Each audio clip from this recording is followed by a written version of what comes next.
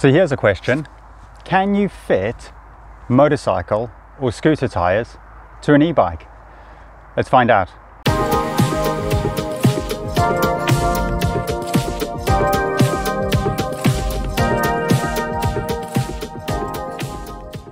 So I wanted to find out, out of curiosity, if it was possible to fit motorcycle tires to an e-bike. And, and the reason I wanted to do that was because one of my customers in particular has done 8,000 miles in five months on their bike and they were basically going through tires like, like it was going out of fashion.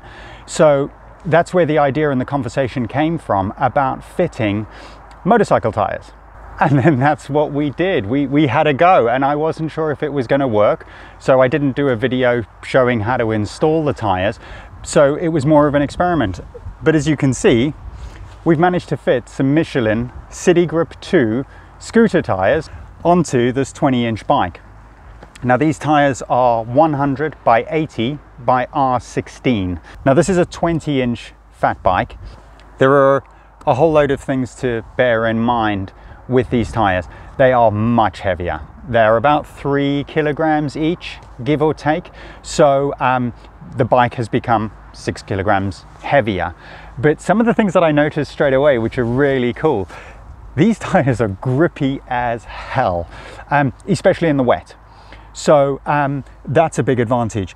They're also way quieter, much smoother, and I, I, must say this bike handles like a treat, especially if the terrain is really slick. Maybe you're on the road or you're going over some of those painted markings that are on the road.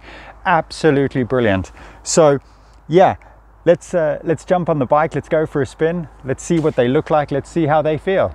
In terms of getting these installed and fitted onto the bike, I'm not gonna lie, it was challenging, really, really challenging. The tires themselves are incredibly rigid in comparison to an e-bike tire.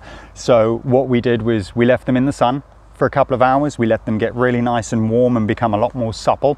Washing up liquid, a lot of washing up liquid and some big woodworking clamps and zip ties around the tires just to help them get on. These are tubeless tires, but I am running them with an inner tube and that's inflated to about 15 PSI on the rear and about 10 PSI on the front. I gotta say, as far as experiments go, I'm really delighted with how this worked out. This is a 750 watt motor running on a 30 amp controller. So it's a very, very torquey motor. It's got heavier gauge spokes. It, it's designed for more speed check the spoke tension regularly so that uh, we can keep that, that correct and make sure that the wheel is, is managing it okay. But yeah, I'm, I'm really excited with how it turned out. If you want to have a go, I guess you now know it, it can be done. Um, I've got a lot more to learn. We need to get some miles on this bike and, and figure out how things are going. So I'm really hoping that uh, in a few weeks or a few months time, we can come back, we can do a follow-up video and we can see how this is going.